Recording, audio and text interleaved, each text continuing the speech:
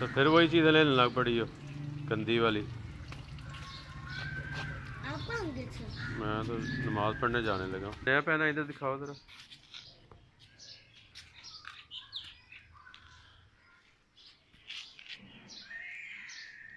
कितने पैसे लेके आई कितने? ये इसमें क्या है? पूरा डब्बा ही ले लिया? हाँ। क्या चीज़ है? मक्खन। इससे क्या होता है? इसमें मक्खन होता है? हम्म, दिखाओ इसमें कितने हैं। अच्छा जी ये मक्खन है।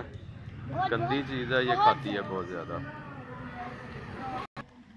आज ईद है तो इसने ईद पे ये नया ड्रेस सिलाई करवाया। दूसरा ही दिन है ईद का। बच्चों ने कपड़े चेंज कर लिए। इसने अभी तक दिखाओ ज़रा ये क्या खा रही है। इसका कोई फ़ायदा है बहुत बहुत बहुत ज़्यादा। क्या बहुत फ़ायदा है इसका? मीठा। मीठा।